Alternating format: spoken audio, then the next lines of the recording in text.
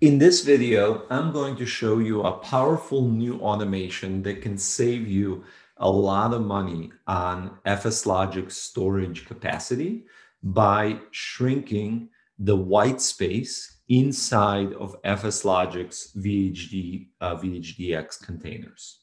So as we all know, FSLogix profile containers um, are a technology uh, that encapsulates the user's profile in a VHD or VHDX file.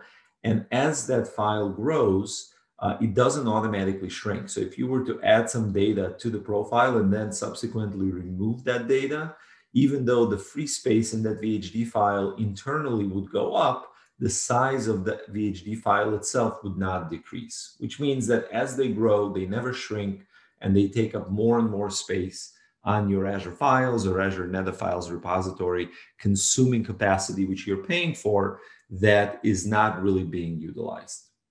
Jim Moyle uh, from Microsoft has been kind enough to create a very awesome uh, script that can take these VHD files in bulk and um, discover the white space inside and shrink them.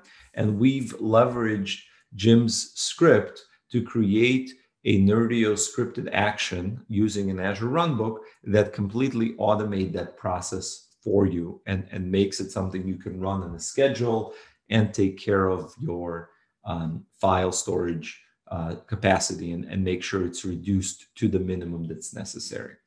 Let's see how that works. So we will start out on the scripted actions Azure Runbooks page, and we'll look for FSLogix, uh, we'll find FSLogix shrink FSLogix profile script.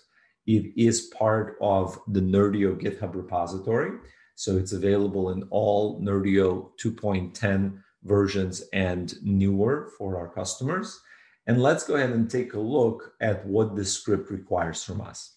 It doesn't require us to make any changes to the script itself, but we do need to define some variables that are going to be necessary in order for this script to run. So you can see that there are seven variables that have to be added as a secure global variable. We need to define the resource group, the region, the temp VM VNet, the temp VM subnet, the storage user account that's going to be connecting to the FSLogix uh, SMB share, the storage key, and the file share path, the UNC path uh, to that storage location.